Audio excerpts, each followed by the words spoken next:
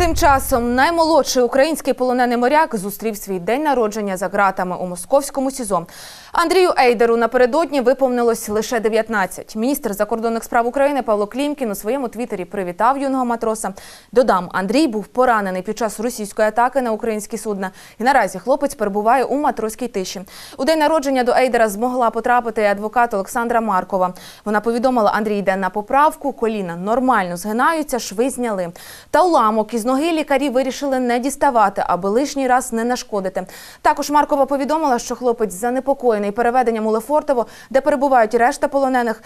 І я також вітаю Андрія із 19-річчям, міцного здоров'я та якнайшвидшого повернення додому.